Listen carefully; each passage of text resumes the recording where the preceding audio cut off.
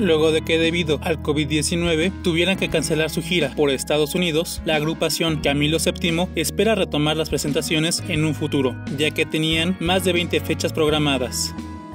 Onás Meléndez, integrante de la banda, destacó que si la situación lo permite, tienen la firme intención de realizar la gira en Estados Unidos, pues estaban muy emocionados de poder presentarse en lugares como Washington, Seattle, Atlanta, Houston, Chicago, Indianapolis, San Diego y Phoenix.